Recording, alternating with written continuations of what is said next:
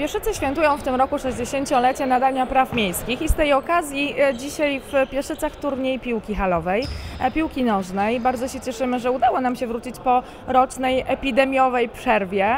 E, Dzisiaj gościmy 8 drużyn z całego powiatu dzierżoniowskiego. E, Drużyny będą na pewno dzielnie walczyły o podium, o to najwyższe miejsce, o nagrody, które również przygotowaliśmy. Zapraszamy również za miesiąc, za miesiąc druga edycja tego, tego wydarzenia. Dla nas to zawsze duże wyzwanie, ale też wielka frajda, że e, mieszkańcy powiatu dzierżoniowskiego lubią sport, e, chcą się ze sobą zmierzyć e, i uczestniczą w tego typu wydarzeniach, a my je bardzo chętnie organizujemy. Sport zawsze jest y, dobry y, ku temu, żeby świętować.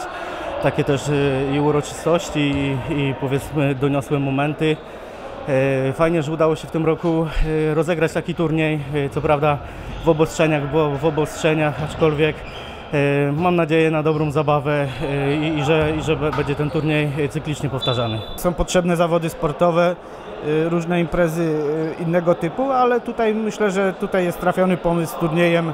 Zresztą te turnieje odbywały się też wcześniej i cieszyły się y, popularnością. Także bardzo fajnie. My jako piłkarze się cieszymy, że jest coś takiego. Rywalizacja w tym miejscu zawsze jest zacięta na tego typu turniejach. E, To jest zawsze bardzo duża e, walka, dlatego apelowałam też o bezpieczeństwo, bo e, te 10 minut spędzone e, tutaj e, na boisku to jest zawsze danie z siebie absolutnie 100%. E, Wielka, wielka walka, zacięta walka i walka o, każdy, o każdą piłkę i każdą bramkę. Nasz zespół już powstał kilka lat temu. Nazywa się Bro or Not to Bro. Oczywiście nie trenujemy, jesteśmy kolegami sprzed kilkunastu lat. Razem nasze drogi się splątały.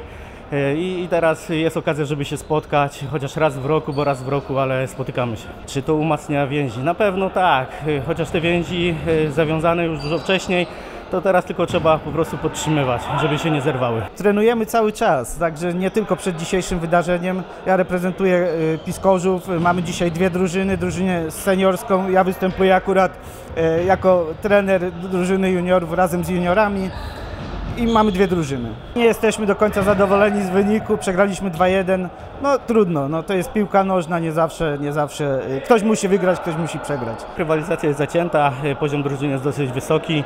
E, No, czekamy, czekamy jak- jakie będzie końcowe rozstrzygnięcie. Ja zawsze kibicuję oczywiście tym, którzy najbliżej mojej koszuli, czyli gminie Pieszyce, ale ponieważ mam kilka drużyn z gminy Pieszyce, to nie zdradzę komu dzisiaj kibicuję. Myślę, że poziom jest wysoki. Są e, e, e, zawodnicy, którzy grali, grają w piłkę, grali w piłkę kiedyś, także poziom jest wysoki. Na pewno z niecierpliwością czekaliśmy, aby, aby być na tym turnieju. Czekamy właśnie na, na takie, takiego typu imprezy. Gramy ligę, prawda, jak nam pozwala czas, to staramy się jeździć na takie turnieje. Świętujemy cały rok, e, świętujemy i sportowo, i kulturalnie, e, świętujemy we wszystkich placówkach e, i oświatowych, i kulturalnych, ze wszystkimi. Po prostu bardzo zależy nam na tym, żeby każdy mieszkaniec, zarówno Pieszyc, jak i powiatu dzierżoniowskiego, miał świadomość tego, że Pieszyce świętują w tym roku swoje 60-lecie nadania praw miejskich. Życzę Pieszycom, aby się rozwijały tak jak do tej pory, żeby pozyskiwały środki unijne jak do tej pory,